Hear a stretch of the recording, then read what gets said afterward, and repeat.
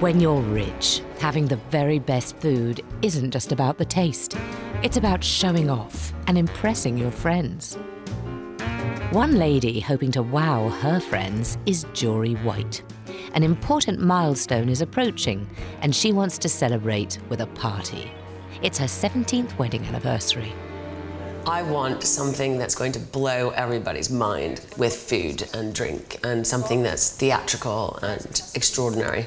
If you really want to impress someone and make them remember the experience for months and years to come, you really need to take that step further and give them something that is super sensory and super experiential, and that's what I'm hoping to get. Jory has chosen bubble food to cater at her anniversary party. Pioneers of molecular gastronomy, they're famous in celebrity and millionaire circles for their innovative use of technology, attention to detail, and creative presentation. People now want food to be entertainment, they want it to be a spectacle, and they're quite willing to pay a lot of money for it. People don't expect just to eat good food now, they want a whole experience, they want to be immersed in, in a whole evening and a whole different world. Boss Michael must pitch Bubbles' very best ideas to Jory. To wow her, they're going to have to pull out all the stops. Can I have a glass of wine, please? Calm me down a bit. The dinner party will cost more than £10,000. It's a laborious process of pitches and tastings to perfect the menu. Because it's her 17th wedding anniversary, I think it would be quite nice to propose um, 17 sensory moments throughout the evening. To tie in with the number, really. To give it a little bit more of a bespoke touch. Let's do this. Hey! Jory's husband, photographer Adrian, is joining her for the pitch. Nice to meet you. Good, thanks. Nice to meet you. Michael knows how to do it, his team know how to do it, and the chefs are all so fantastic. I think the type of people we've got coming obviously have been to lots of different events before, so and not easily impressed. But impress they must. So Bubble will tailor the evening specifically to Jory's whims and wishes. I'm having a coconut fit right now because coconut is where it's at. Yeah. And so I really want to do something with coconut. I mean, we can incorporate anything into the menu. Okay. I mean, that's, that's not a problem. As well as coconut, Jory loves truffles, so the team has devised a truffle hunting experience. Guests will hunt through a box of leaves to find truffle flavoured canapes. So it's in, it's in the wooden box filled with kind of leaves um, and bark, like a ham and truffle croquette. So truffles, I'm up for it. Adrian's exhibition is all about it's coming together big time, Yeah, and it's all yeah. about trees and forests. So maybe Yeah. we, we go down that road a bit. Yeah. That really excites me. Cool. Cool. and cool. but when you when you take the canapé, you have to put these headphones on, which are um, snorting pigs. I'm not going to be 100% sure that I'm going to choose to do that, but I really would. I don't mind trying it at all. You'll try it at the tasting Okay. and you'll love it. You're going to love it because it's such a talking point. There'll be eight courses at the dinner party, and each one must be approved by Jory and Adrian. The truffle dish won't be signed off until they try it next week at the tasting. So you're going to have to to live up the up to the game, baby. Do you know what I mean? You need to up the ante and do a wow, super wow, effective job. We so will. every morsel needs to be super tasty. It will. Don't you worry. Okay, Don't you cool. worry. It'll be amazing. The last party that Michael did for us was probably three or four years ago, and people still, Still talk about that about party because it was so amazing. Yeah. A, a lot of our clients use us to show off. I mean, that's why they come to us. In London, luxury caterers Bubble have been hard at work creating bespoke dishes for Jory and Adrian's anniversary party. Today, they must finalise the menu. It's going to be so much fun. I honestly I can't wait to give all of our friends such a complete taste sensation and kind of visual, sensory, kind of uh, overawing kind of whoa, what's going on? They're all going to have so much fun, and I know for a fact that they'll talk about it for ages to come. So this is a little taco tapioca crisp with hamachi, kingfish. Mmm, yum! Lovely presentation with the with the flowers. Every dish must be tasted, critiqued, and signed off by Jory before it can be served at the party next week. Our next campaign is a little bit of diced native lobster, topped with black radish and gold leaf. Very nice. Very nice. Bubble are presenting some of the world's most costly ingredients, served not just as food, but as theatre. House smoked sea trout with mustard mayonnaise. Hmm, so that's a good one.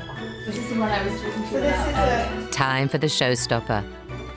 A box filled with leaves, hiding tiny truffle flavoured canapes. So that'll be the sound aspect. Guests must root through the box like pigs hunting truffles in a forest. What is going on there? That's kind of cool. I like that. To help get into character, headphones play the sounds of oinking pigs. feel like I feel like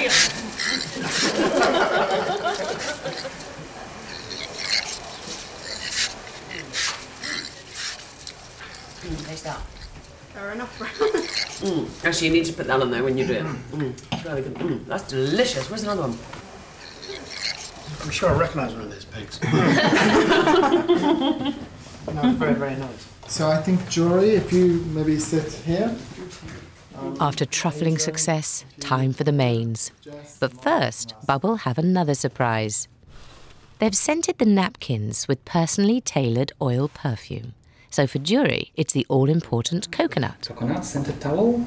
Oh, nice. I love coconut. Oh. Wow. And uh, Jory's husband likes trees.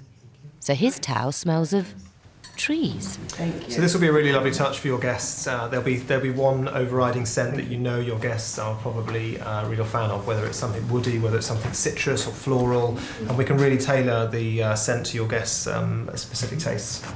Chef Jens has a budget of over a thousand pounds a head, so the fish course, up next, spares no expense. So the Oscietra caviar is about um, £1,600 a kilo, so obviously that costs a fair bit. Uh, king crab is a really premium product, over £100 for, a, uh, for an actual crab.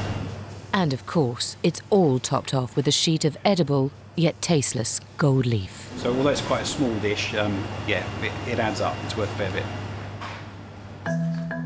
But with the next two courses, there's a problem. The burrata ball looks a bit like the octopus carpaccio. The presentation is very similar to the tomato dish, and I kind of prefer it if it wasn't a similar presentation, and I can't deter from the tomato dish because it was so mm. divine. Mm. We could represent it and send you images if you want. It's a tough one. How do we play that one then? Hmm. You can think about that. Jory's looking for perfection, but these tough decisions must be made soon. I think we need to refine a couple of things and make sure it's exactly what she's looking for. Michael and his team have just six days to create a menu that satisfies her every desire. In London, at Jory and Adrian's home, the big night has arrived for bubble food. With three chefs, five waiters, an event manager, and freshly baked personalised buns, a night like this costs well over a thousand pounds a head. We need to blend into the background, we need to be very quiet. The focus is on uh, Jory entertaining with her guests. We don't want anything to um, detract from that.